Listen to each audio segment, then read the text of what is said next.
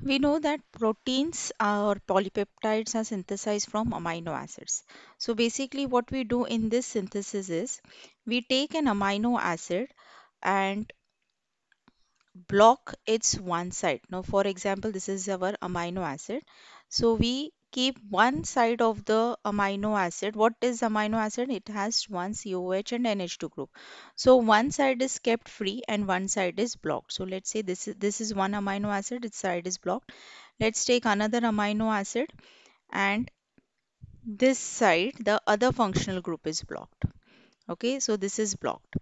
Now the free ends, they are going to react with each other to give you the first peptide chain. And this part which is blocked over here, this is attached to resin. So this is the resin part which, eh, which is always there. So this is your solid phase to which the amino group is attached. Now once your first peptide linkage is formed, the group which was present over here this is deprotected. So after deprotection after deblocking you are getting the H. Now once you get this we react this with the third molecule of amino acid and so on the synthesis goes.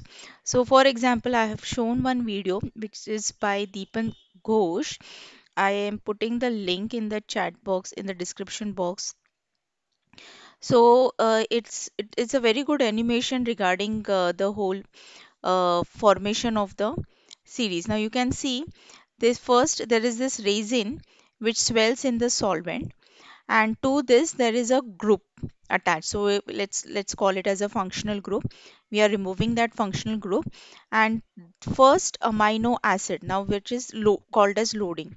So first amino acid reacts with the resin. Now this resin is your solid phase. So that will stay throughout your reaction. That resin will stay throughout the reaction. Next is once that is done,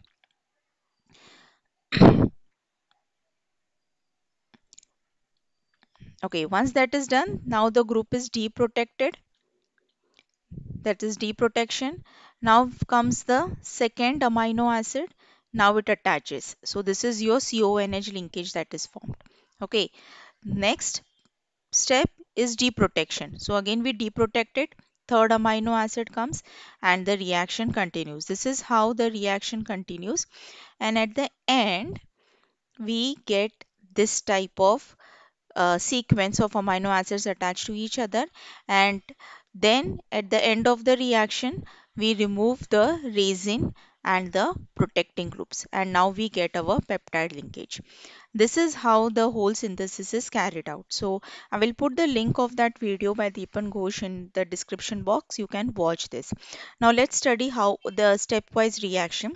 So in the first step, we have the first amino acid. This is your first amino acid which is protected by BOC group which is nothing but tert butyloxy carbonyl group.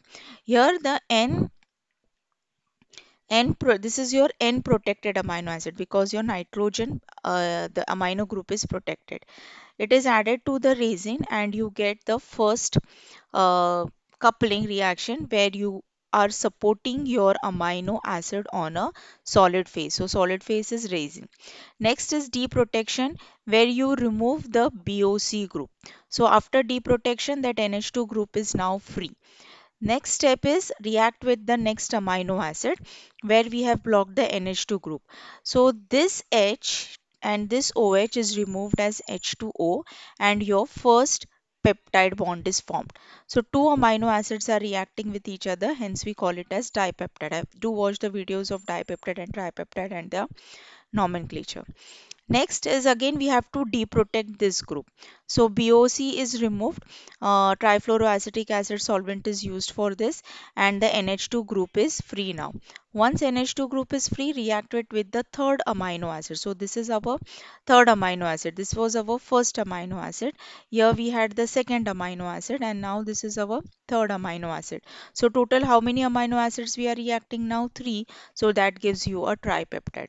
Once the desired number of acids are attached, then we can remove this resin and this BOC group by reacting with a suitable solvent like HBr, HF or uh, trifluoroacetic acid. This whole synthesis is called as Merrifield solid phase peptide synthesis.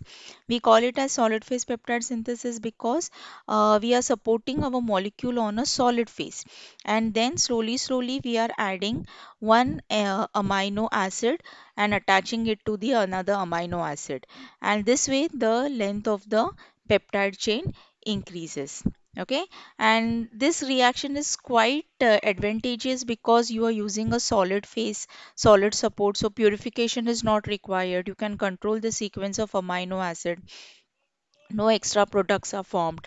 Uh, excess of reagent can be simply removed by washing because everything is getting attached to the solid. So uh, you can simply wash off the uh, uh, excess of reagents. High yields are obtained, synthesis time is very less, sequence of amino acid is very accurate because we decide which amino acid we are going to put it. Uh, over there in the reaction so we can take same amino acids we can take two different amino acids three different amino acids in a particular sequence so we can synthesize any peptide uh, chain the way we want and because uh, groups are protected uh, there are no extra reactions or side reactions taking place over here. That is why no isomeric products are formed and the reaction is very clean reaction. You can say a green reaction where you get a particular sequence of amino acid and a desired polypeptide chain. So this was Merrifield peptide synthesis. Next video will be on structure of proteins. Thank you